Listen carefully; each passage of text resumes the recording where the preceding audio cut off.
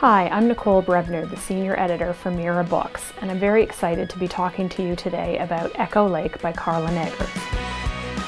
Carla Neggers is the New York Times best-selling author of the Swift River Valley series, and Echo Lake is the fourth book in this series. The book is full of romance and adventure and puppies, in this book, the heroine, Heather Sloan, the youngest of a family of brothers, is struggling to make her way in the family business. It's time for her to stand on her own two feet and show her brothers that she can give as good as she gets. When Heather runs into Brody Hancock, who's come back to town, she knows she's run into trouble. Brody left town under a cloud many years ago, but he's come back to make good on the Hancock name.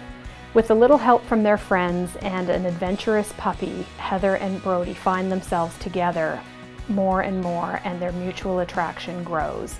With the romance of Echo Lake and Knights Bridge, the two of them find love together.